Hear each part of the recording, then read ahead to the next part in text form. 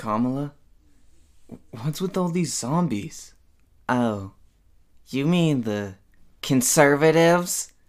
Yay, I guess I do.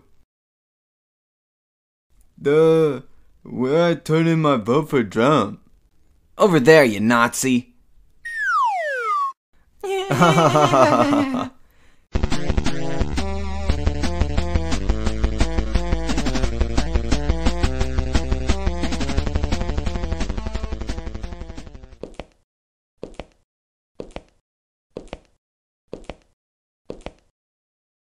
Conservatives?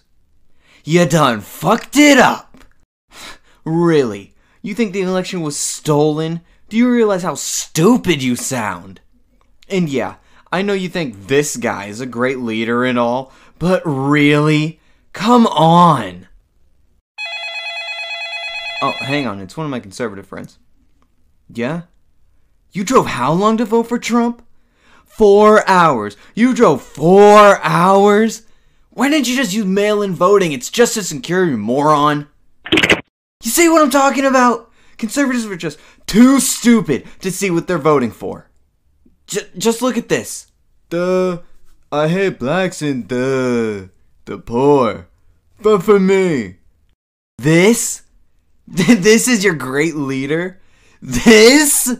You think he can save democracy? It's like you don't even know who you're voting for. But hey, he still didn't win. Democracy did.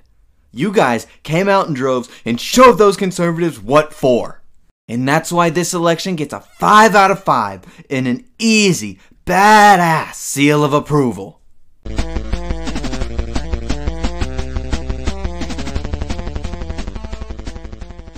Joe, man, this seems a little insensitive.